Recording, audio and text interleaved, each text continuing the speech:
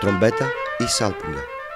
Η ονομασία της, τρόμπας στα Ιταλικά, προέρχεται από την αρχαία ελληνική λέξη στρόμβος, που σήμαινε μεγάλο θαλασσινό κοχύλι. Χάλκινες σάλπικες μπορούμε να συναντήσουμε σε όλους τους αρχαίους μεγάλους πολιτισμούς. Κίνα, Αίγυπτο, Ισραήλ, Ελλάδα και στο Μεσαίωνα κυρίως σε στρατιωτικούς σκοπούς. Λίγο μετά το 1600 εμφανίστηκε στις ορχήστρες, όπερα, εκκλησιαστική μουσική, ενισχύοντας το αίσθημα χαράς ή θριάμβου. Τον 19ο αιώνα έγινε προστίκη τριών βαλβίδων κλειδιών. Ο ήχος της είναι λαμπερός και διαπεραστικός.